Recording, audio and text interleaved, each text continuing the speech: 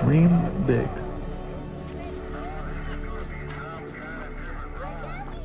Close your eyes for a moment. Think back to when you were a child. Magic. Innocence. Bliss. Remember the time where everything you dreamed was possible? Venus, Earth, Mars, Jupiter,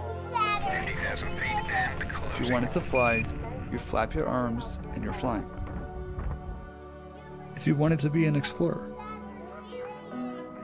you'd run around outside and discover something that the world has never seen. If you wanted to go to space, you'd dress up like an astronaut and be a part of history.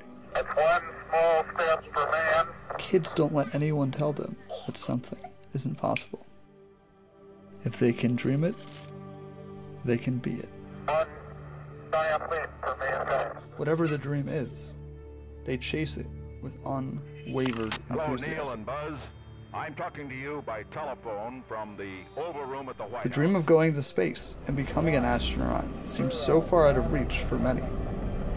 But when kids start dreaming at a young age, the stars are the limit for what they can accomplish. For every American, this has to be the proudest day of our lives. Maybe one day, that kid with the dream of becoming an astronaut will make history.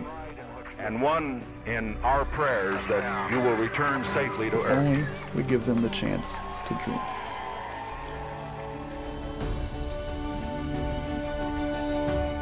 So when my time is up and I have to leave this planet, I will do it with a smile on my face because I know one thing for sure.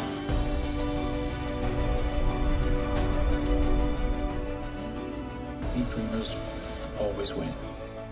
So, whatever your dreams are, dream big.